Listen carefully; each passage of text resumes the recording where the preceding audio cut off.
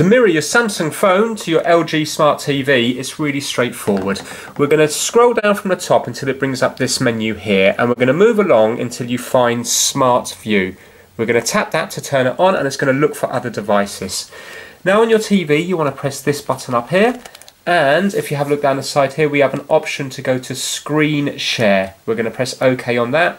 And now we need to make sure the TV is listening for other devices. So if you have a look at the top, listen mode is off. We're going to turn that to on.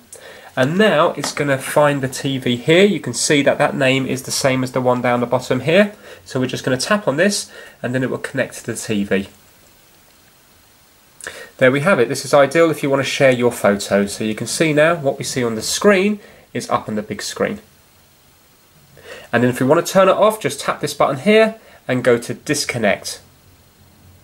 And then it's back to normal again. Thanks for watching.